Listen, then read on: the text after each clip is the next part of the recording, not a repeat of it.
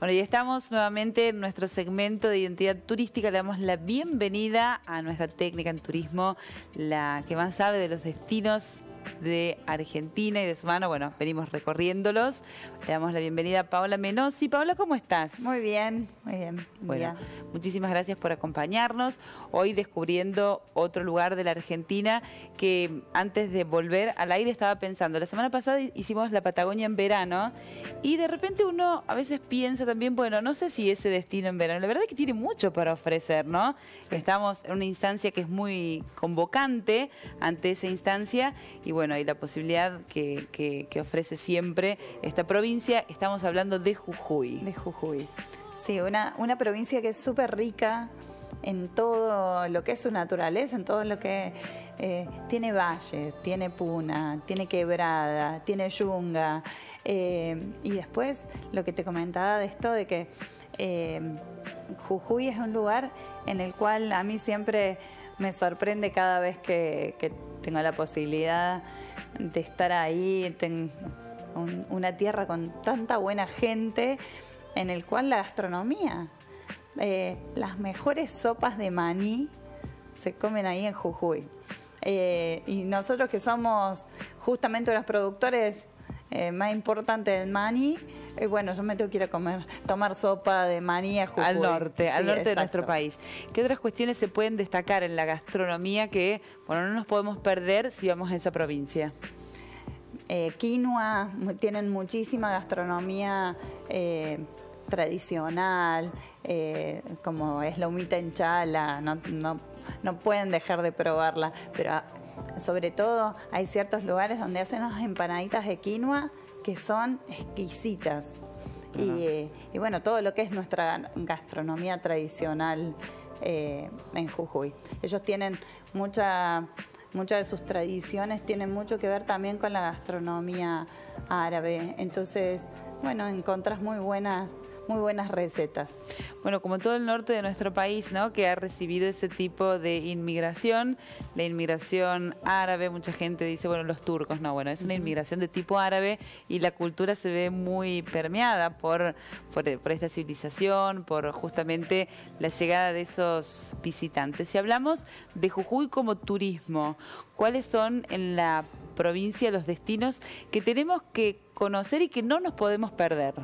Bueno, uno de los lugares más tradicionales eh, de Jujuy eh, es todo lo que es la quebrada de Humahuaca, eh, su, cerro de los siete colores, sus, todo lo que es la parte de artesanías, cuando uno visita Purmamarca. Bueno, la semana pasada nombramos al Farcito y que son poblaciones las cuales uno se llena de cultura. Bueno, ahí justo pasaba a Pacheta, que es este uno de los restaurantes donde vas a, comer esta comida típica y, y bueno, esas sus peñas. Bueno, ahí justo eh, mostraban uno de los hoteles que es Altos de la Viña, que fue un hotel provincial que se recuperó con una de las mejores vistas en lo que es eh, San Salvador de Jujuy. Bueno, qué, interesante, qué convocante que es el destino. Estamos en contacto con la provincia de Jujuy para saber, bueno, en voz propia y en primera persona qué, qué es lo que tiene ese lugar para ofrecer y también cómo se están preparando para el verano, consultar si es esta una etapa, un momento del año para visitar. Le damos la bienvenida a Diego Valdecantos, secretario de Turismo Provincial. Bueno, flamante secretario, renueva, ya le vamos a preguntar. ¿Qué tal, Diego? Buenos días, ¿cómo te va? Así es, buenos días, muchísimas gracias.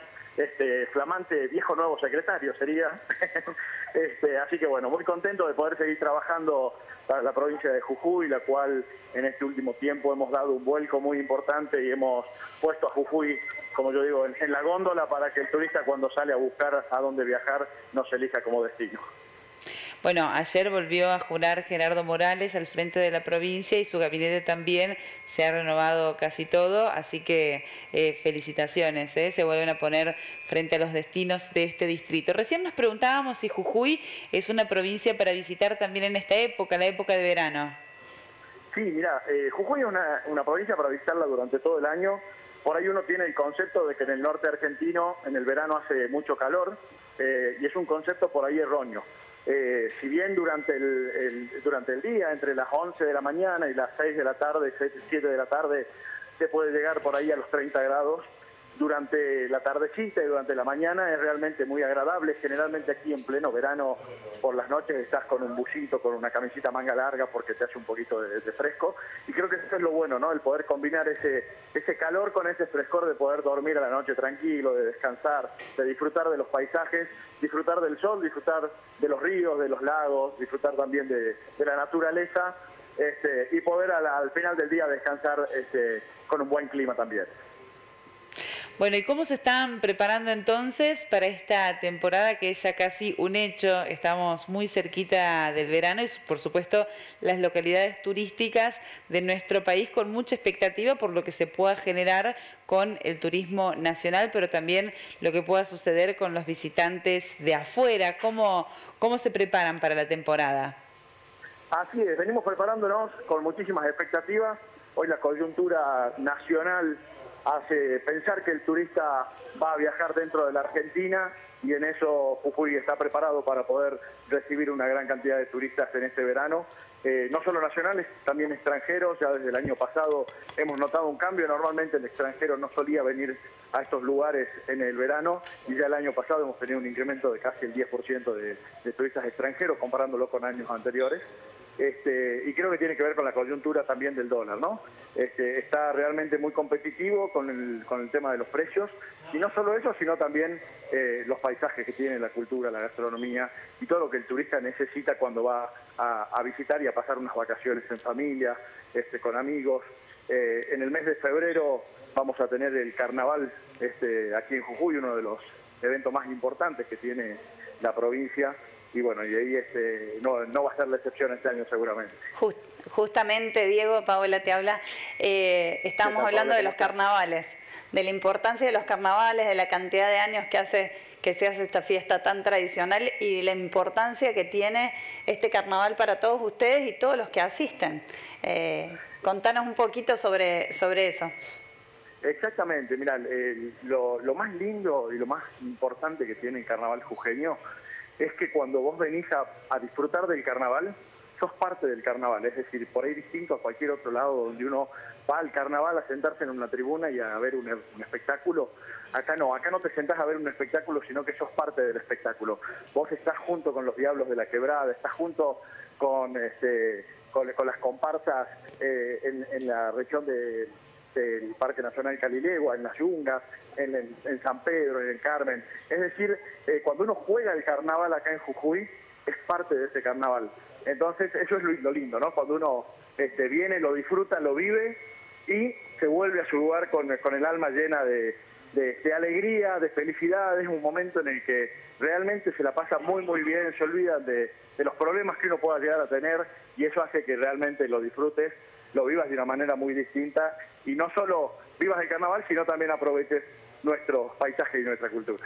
Y, uno de los paisajes típicos, unas fotografías hermosas que hay, es las Salinas Grandes. Eh, que no, eso sí no lo podemos disfrutar en cualquier parte del país y lo, y lo tienen a ustedes. Exactamente, mira, es una de las siete maravillas naturales de Argentina. Este, Salinas Grandes es un, un gran océano de sal, como decimos nosotros, donde te puedes sacar unas fotos espectaculares donde las comunidades aborígenes se reciben, te cuentan cómo trabajan ellos con la sal, la importancia que tiene ese lugar inhóspito a más de 3.000 metros de altura, pero que realmente tiene un valor eh, importantísimo para la provincia y para, para el país. Bueno, le contamos, Diego, que Telediario Federal se ha puesto por objetivo también incentivar a esas localidades de nuestro país que consideran que tienen un potencial turístico a que se desarrollen como tales. Por eso, consultarle a usted y de alguna manera también hablarles a los titulares, de, a las autoridades de esas localidades, cuál es la importancia que tiene el turismo como actividad económica en los habitantes de la provincia. Bueno, eso es muy importante y, desde el momento que se toma como una política de Estado al turismo, este, nosotros eh, evaluando los últimos años hemos notado cómo del 2015 al 2019, por ejemplo, ha subido más de un 3% el Producto Bruto Geográfico, lo que tiene que ver con turismo, y eso la gente lo nota en lo que son ingresos, en lo que son puestos de trabajo. Así que en ese sentido la gente cada vez está más convencida de que el turismo es muy importante y en eso también trabajamos desde el Estado para que la gente lo entienda de esa manera, pueda entender por qué hay que atender bien a un turista, por qué el turista es importante para la provincia y bueno, y cada vez generemos más turismo aquí en la provincia. Bien, bueno, ojalá así continúe siendo. Muchísimas gracias, Diego, por el contacto, ha sido muy amable. Le mandamos a través suyo un abrazo a todos los jujeños. Bueno, muchísimas gracias a ustedes, muchas gracias por este espacio, este, a toda la audiencia para que puedan seguir conociendo nuestra República Argentina, Jujuy en particular en este caso, y bueno, los esperamos no solo en este carnaval, en este verano, sino durante todo el año aquí en Jujuy. Muchísimas gracias, Diego, y bueno, hacerte extensivo también el, saludo a Federico, que que sé que bueno también está renovando como ministro de Cultura y de, Turismo de Jujuy. Han hecho un gran trabajo estos cuatro años y vale la pena cuando alguien hace un buen trabajo en nuestra materia continuar en ese sentido. Así que bueno, muchísimas gracias. Muchísimas gracias Paola, a vos también y bueno, le vamos a dar el mensaje y los saludos al ministro Federico Posadas, que está muy contento de poder continuar en la gestión aquí en la provincia y poder seguir este, promocionando y poniendo a Jujuy en lo más alto. Gracias. Bueno, le mandamos un abrazo. Paola, nos reencontramos la semana que viene. Nos encontramos la semana que viene. Esto, al igual que como, mencionamos, que están hace minutos nomás, en el día de ayer, se están renovando muchísimas carteras de ministros a nivel provincial y estamos tan próximos a, la temporada que, bueno, ya para la próxima semana ya vamos a tener el mapa de cómo queda el Consejo Federal de Turismo a, nivel nacional. Tenemos la, suerte de que por primera vez vamos a tener, vamos a contar a nivel nacional con una secretaria de turismo como Janina Martínez.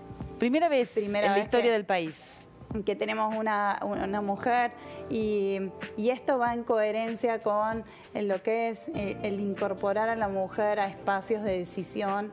Eh, tenemos este gobierno que, se presenta y en coherencia con lo que está pasando en el mundo, de ponderar a la mujer y de darle el espacio y espacios de importancia, eh, no solamente a nivel nacional, sino que a partir del año que viene también una mujer será la ministra de Turismo de, Chile, será la presidenta de miembros afiliados de OMT y el próximo, en el 2021, eh, la ministra de Turismo de España va a ser quien dirija como gerenta general de OMT a nivel internacional. Así que el, turismo está celebrando y las mujeres estamos celebrando esta apertura eh, en el turismo a las mujeres y esperemos que se sumen muchísimas más. Ojalá así sea. Muchísimas gracias, Paola. Muchas gracias a vos.